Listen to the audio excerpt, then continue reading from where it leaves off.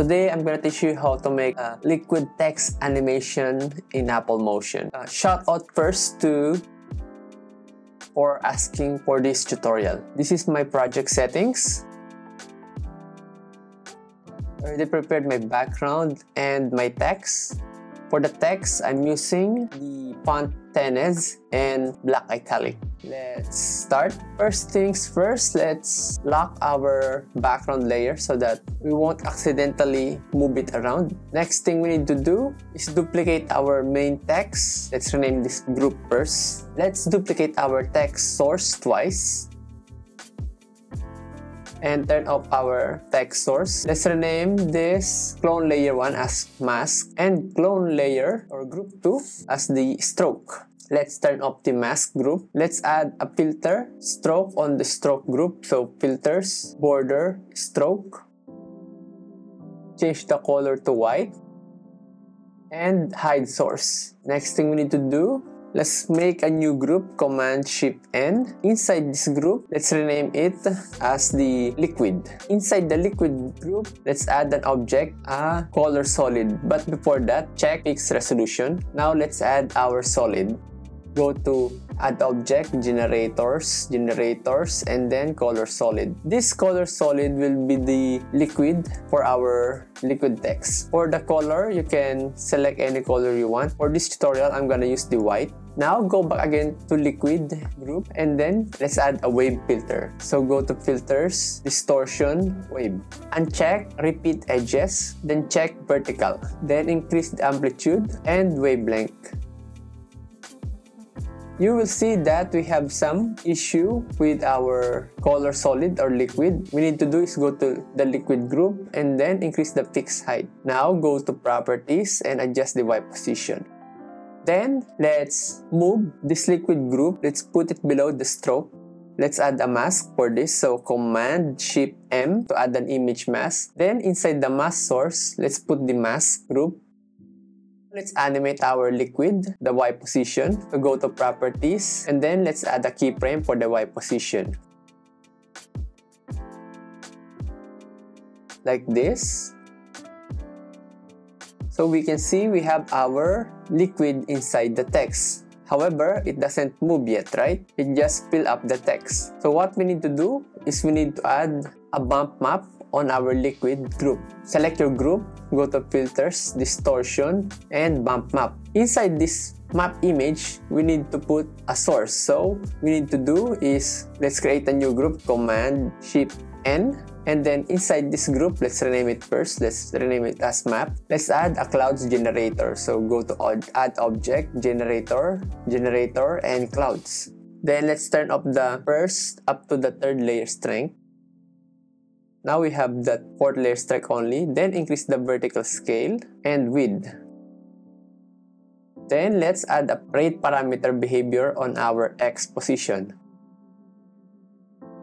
Once you add the rate parameter behavior, you can increase this depending on uh, how fast you want the clouds to move. So 0.16, you can notice that this how it moves. Let's reduce maybe 0.10. Now let's turn off this map. Go to our bump map and then drag this map inside the map well.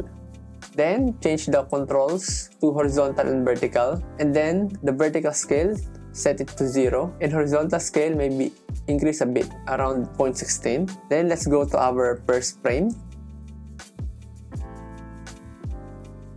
Then let's go to our liquid, to properties and let's adjust the keyframes. So go to keyframe editor, then let's adjust the handles. The next thing we need to do is go to our stroke and adjust a few settings. So if we zoom on our text, you will see that this part does not look good. So we can adjust the threshold so that that line or the outline disappears and it looks much better now. So Shift Z so that you can see your composition area to fit size. So that is how to make a liquid text animation in Apple Motion. If you want, we can mask this text also using the wave. So let's group this first, Command Shift N then put all inside that group except for the background. And then this liquid group, let's duplicate it, option drag. Then let's delete the image mask. So we will have this. So let's put it below the group 2. This one, let's go to properties and let's adjust the keyframe. Let's put it around maybe at the end. Oh, sorry, I got confused. So this liquid copy, on the initial position, let's put it a little bit below the text. And then the last position, the last keyframe, let's cover up our text. Okay, let's turn it up. And then on group 2, Command Shift M. Then let's drag this liquid copy inside. And then change the mask blend mode to subtract. Go to the first frame and press spacebar on your keyboard. Our text is masked by the liquid. Now let's add some texture for our, to our background. Go to library, generators, generators, then add caustics. Then increase the size and width. Then reduce the speed. Go to properties, let's increase the scale. Then put it on a group, Command Shift G this texture group, let's name it texture. Let's add the levels, filters, so filters, color, levels. From this part, select alpha and then increase the white and like this. Okay, then go to your texture group, then properties, then let's add some rotation.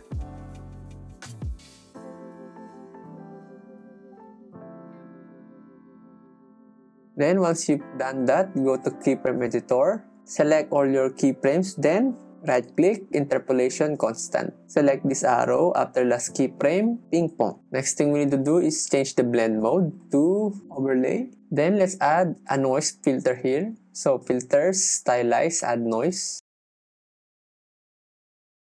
Then let's rename this group as BG. So that's how to create a liquid text animation in Apple Motion. Thank you and see you again next time.